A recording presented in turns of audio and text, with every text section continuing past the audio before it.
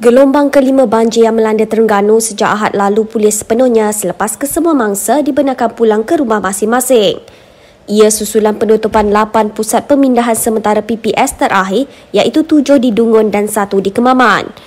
Ketua Sekretariat Jawatan Kuasa Pengurusan Bencana Terengganu, Lieutenant Colonel Cik Adam A. Rahman berkata, semua PPS di daerah berkenaan ditutup secara rasmi jam 2 petang 11 Januari.